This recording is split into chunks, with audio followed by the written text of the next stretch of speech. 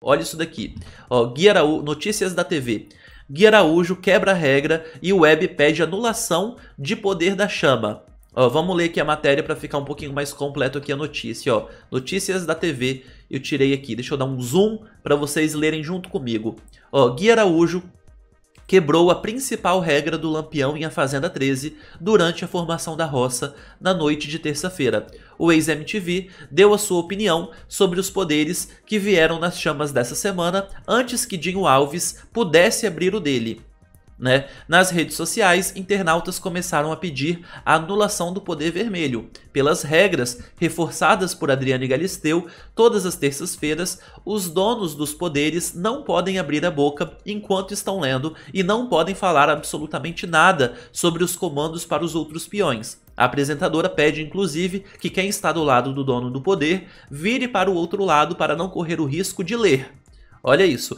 Durante o último intervalo, momentos antes de Dinho ler o seu poder, Guilherme, o Gui Araújo, reclamou dos comandos das chamas. Não serve para nada esse poder, não serve para bosta nenhuma. Tive que usar esse colar a semana inteira à toa, resmungou o ex-namorado de Anitta. Ó, como nem o próprio Dinho sabia ainda do seu poder, que era o de trocar o veto dos roceiros da prova do fazendeiro, né, que foi quando ele trocou do MC Gui pro Rico, o ex-MTV, o Gui Araújo, acabou dando a entender que a chama vermelha poderia não mudar nada na formação da roça. A chama amarela que ele escolheu já havia sido aberta, que era aquela chama, né, de dobrar os votos de alguém. E ele dobrou o voto da Solange, aí a Solange empatou com o Rico, caiu pro Bill, fazendeiro desempatar, e o Bill desempatou mantendo o Rico. Então, no final das contas mesmo, o poder amarelo não, não serviu de nada, né? O poder vermelho que fez essa troca aí do veto tal, que é o que a galera tá pedindo para ser cancelado, certo? Ó, no ano passado,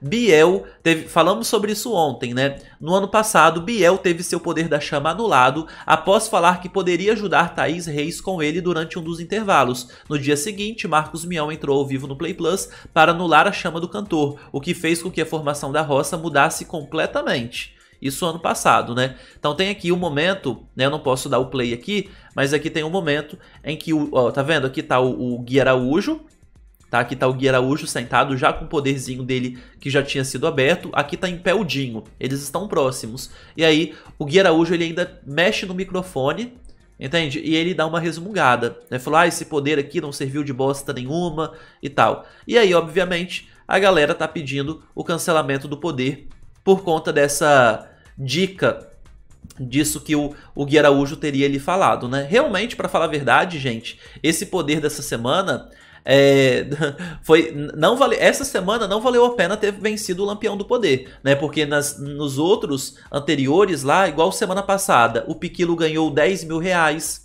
para deixar o para deixar a galera sem café. Aí ele ganhou 10 mil reais. Na semana anterior, acho que a Milady, né? A Milady conseguiu a imunidade dos votos da casa. Na semana anterior ainda, acho que tinha sido o Bill. Ele tinha conseguido. Não, na semana depois do poder da Milady, ele conseguiu duas imunidades, lembra? Aquele lá que ele deu imunidade para ele e pro Dinho, que foi até que deu aquela polêmica toda, que ele não imunizou o Vitor e tal. Então o poder amarelo realmente tem de ser muito bom para o dono do poder. Esse poder de ontem amarelo não favoreceu em nada o Gui Araújo. Poderia favorecê-lo caso ele tivesse sido o mais votado da casa, e aí ele podia dobrar o voto de uma outra pessoa, e aí ele talvez conseguiria fazer com que aquela pessoa ficasse mais votada do que ele. Agora, no final das contas, o Gui Araújo não ganhou nada. Não ganhou imunidade, não, né, não ganhou dinheiro, não ganhou. Então, realmente, aquele, aquele poder da chama de ontem foi meio bosta.